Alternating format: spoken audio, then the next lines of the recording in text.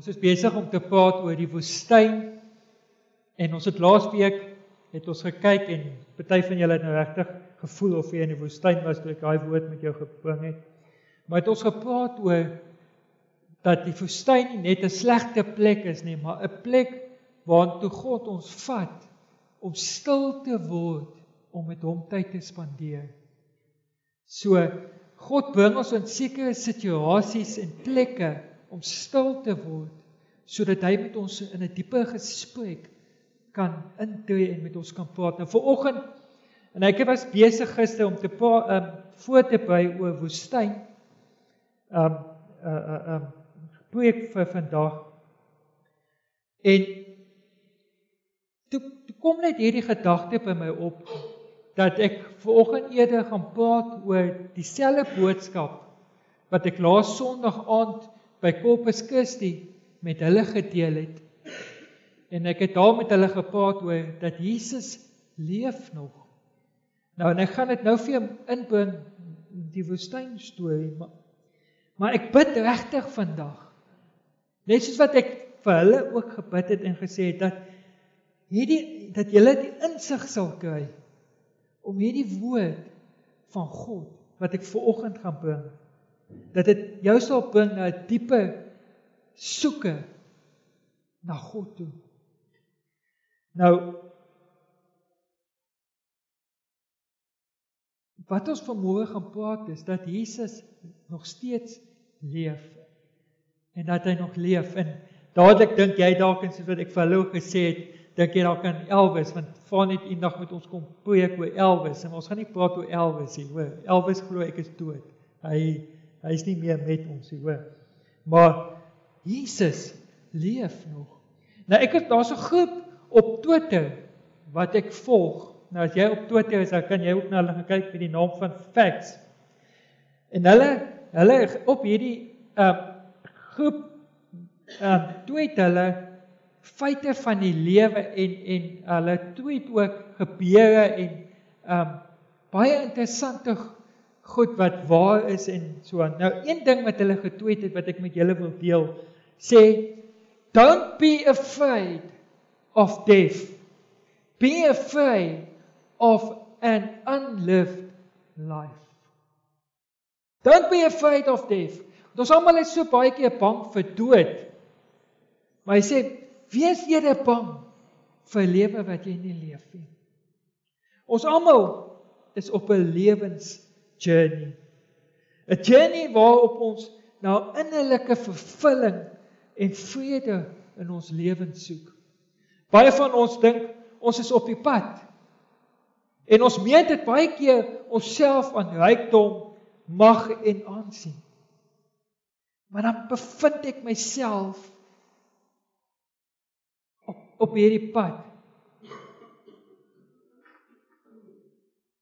Ja. Of bevind ek myself op hierdie pad in die woestyn soos wat hierdie prentjie vir julle wys. En dan kom ek tot stilstand. En dan moet ek by 'n plek kom waar ek ware introspeksie doen en besef dat wat ek het en wat ek is en dat ek op hierdie reis van die innerlike vrede vervulling dat ek nie daar is nie. So is ons gedurig op soek op reis na hierdie plek. Self weet ek nie, maar ek reis, ek ek ek ek beweeg. En die logiese denke sê hulle, soos wat ek in van 'n boek gelees het van Andy Stanley, sê die pad waarop jy beweeg Daardie pad bring jou by daai bestemming uit.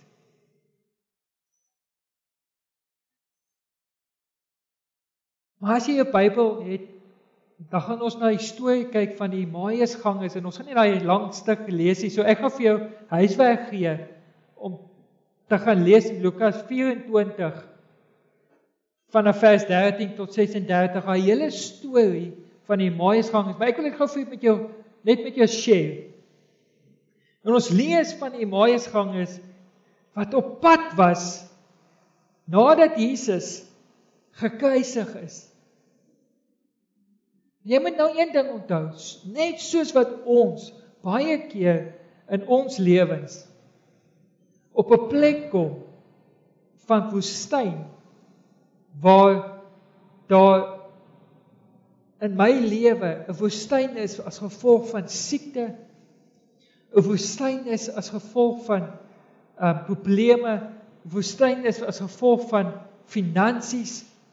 'n Woestyn is as gevolg van innerlike konflik wat ek met myself het. 'n Woestyn is waar ek myself bevind dat ek um met my werk dat ek dalk moet op 'n ander plek moet wees of dat ek ongelukkig is met my werk en ek weet nie wat om te doen nie. So het hierdie Emmaus gangers wat deel was van Jesus se se disippels na sy kruisiging op pad was van Jerusalem af teleurgestel hulle hoop soos wat die Bybel sê wat hulle gehad het nie meer het nie. Besig om te stap en die Bybel sê of of die die die uh kommentaar sê dat Emmaus is omtrent so 11 km weg van Jerusalem af. Nou dalk vir 'n kar is dit vinnig om te ry, maar vir daai ons was dit die hele tydjie om te stap. En hier is hulle besig om te stap en te praat en te wonder op hierdie pad oor Jesus. Maar mens wonder is dit die pad wat God wil hê hulle moes gestap het. Maar so is hulle op pad. En ewe skielik is Jesus daar saam met hulle op hierdie pad en hy vra vir hulle: "Hoei ouens, waarmee waaroor gesels julle? Waarmee is julle besig om so in diepte te te praat?" En Kleopas en jy kan dit daar gelees, antwoord hom. Ek dink hy het hom so met so verbaasde gesig gesê, "Hæ?" En hy sê vir hom, "Is u die enigste vreemdeling in Jerusalem?" Is jy die enigste vreemdeling in Jerusalem? Met ander woorde, weet jy nie waaroor dit alles gaan nie. En hulle vertel hom toe oor wat gebeur het met Jesus en al hierdie gebeure rondom sy kruisiging en en en hoe hulle hoop verloor het en Hulle het gehoop. Hulle sê toe vir hom, "Ons het gehoop dat dit is hy wat die een sou wees." En baie interessant kom Jesus.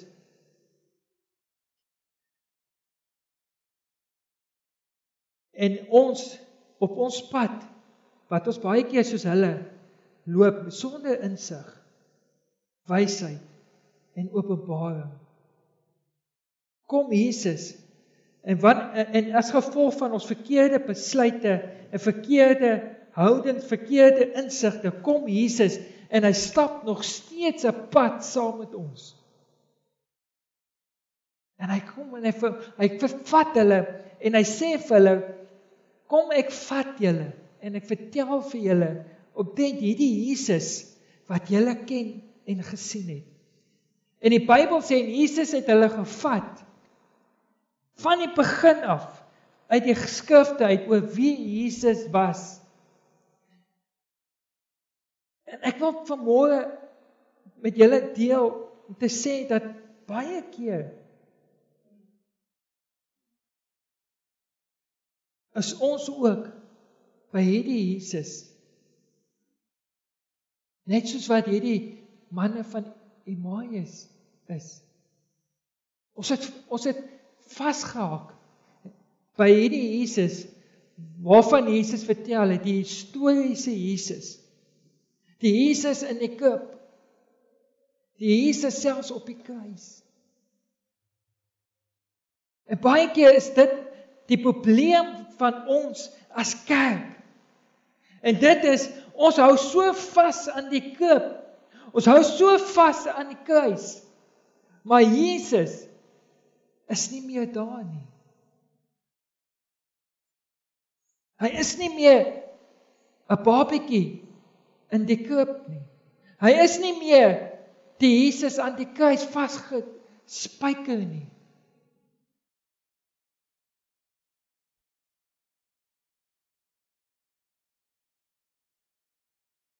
Maar dit stuk sê vir ons toe hulle by Emmaus kom, toe maak Jesus of hy nou wil verder gaan en dat hy nou nie meer wil hy wil aangaan met die reis.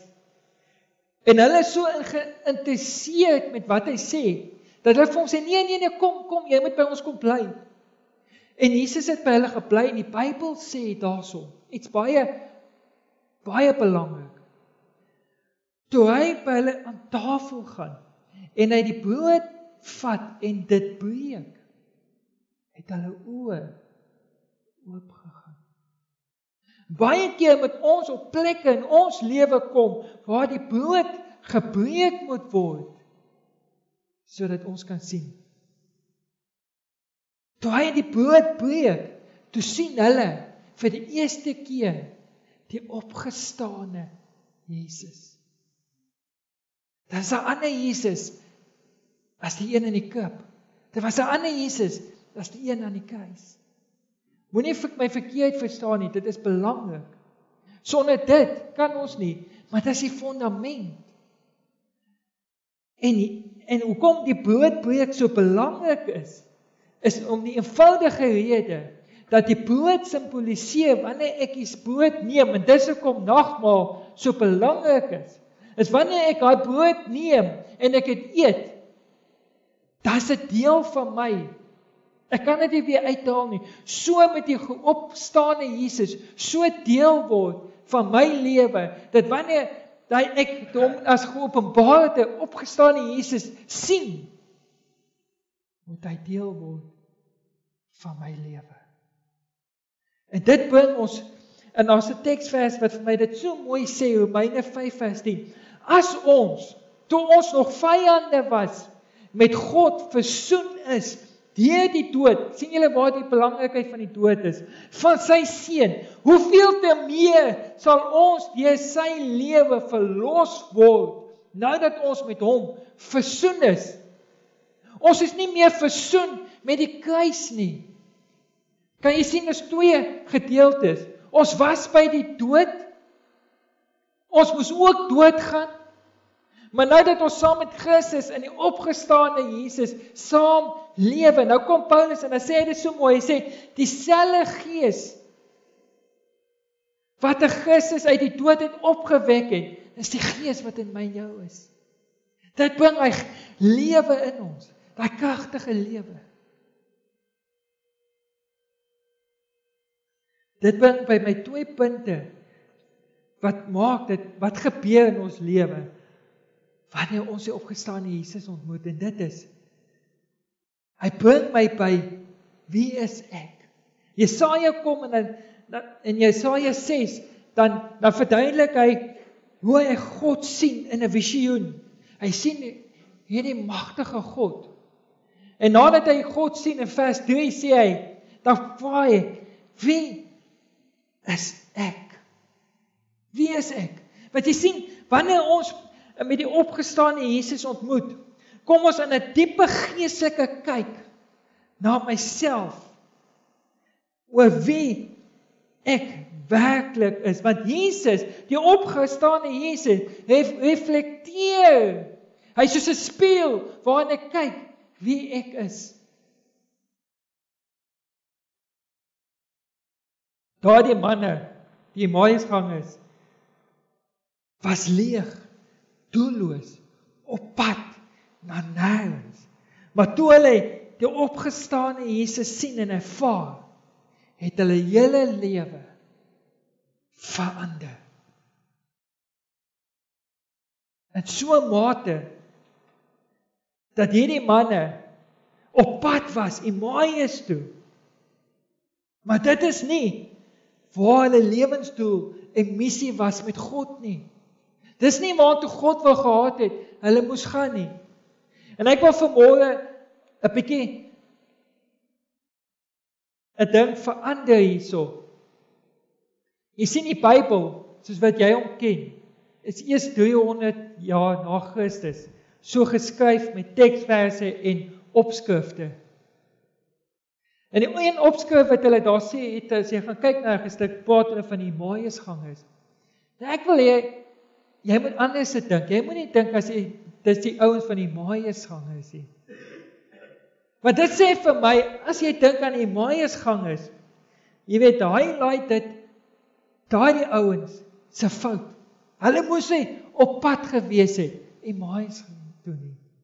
Maar hulle moes dit anderste opgesit het. Die ouens wat op pad was, maar toe hulle Jesus ontmoet het, het die sê die Bybel het hulle teruggegaan tot hulle werklik waar begin hulle missie uitleef.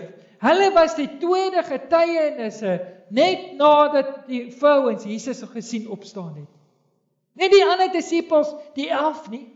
Hierdie manne het opgestaan Jesus. En die Bybel sê en hulle het dadelik net daarna het hulle opgestaan en teruggegaan. En dit sê vir my, God vat ons altyd terug na ons doel toe wat ons vir hom moet doen.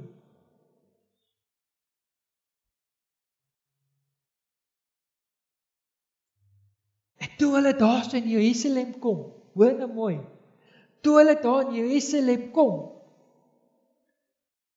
En hulle by daai 11 ouens instap. Weet julle wat gebeur toe? Sê die Bybel daar. Het die opgestane Jesus self in hulle midde verskyn. En ek wil vanmôre vir jou sê, sodra jy begin jou doel en jou missie leef, dan sal die opgestane Jesus in jou lewe verskyn. Hy sal dan daar waar jy met mense in aanraking kom en vertel van die opgestane Jesus, self in julle midde teenwoordig wees. As ons doen wat hy vir ons sê om te doen. En dan vra mense die vraag. En dan sê mense so, die kerk is dood. Die kerk is dood is omdat ons by die krib en die kruis stil gestaan het. Maar ons moet begin leef vir die een wat regtig waar in ons lewens opgestaan het. As Jesus nie in jou hart opgestaan het nie, sal jy in die woestyn lewe bly. Maar as hy vir jou opgestaan het, sal dit wees soos daai liedjie sê, in die woestyn sal daar 'n vuur wees. In die woestyn sal daar lewe wees. Maar ons moet weet waarheen ek op pad is. Is ek op pad saam met God of is ek op pad saam met myself? So ek wil afsluit vir môre om te sê dat God sal altyd homself bevestig met die geopenbaarde Jesus in ons lewens. As jy vir nou jouself kyk vir môre op jou lewensreis waar jy jy op pad is. Is jy op pad na jou lewensdoel toe waarna toe God wil hê jy moet gaan? Is jy daar waar God wil hê jy moet wees? Het jy al die opgestane Jesus in jou lewe ontmoet of is jy maar nog by die krib en by die kruis? Wil ek jou vanmôre uitnooi om saam met my 'n gebed te doen. Te sê Here, ek wil hierdie lewensmissie in my lewe uitleef. Ek wil hier die opgestane Jesus ontmoet. Here, ek kom bid vir oggend vir hulle wat ver oggend staan en sê, Here, ek wil op pad wees. Ek wil die opgestane Jesus ontmoet in my lewe sodat my missie, my innerlike reis dat ek gekonnek sal word met God. Wil ek kom bid vir oggend Here dat u Heilige Gees hierdie krag in ons sal opwek wat Jesus uit die dood uit opgewek het sodat daar lewe kan wees binne in my. En ek dank U daarvoor in Jesus naam. Amen.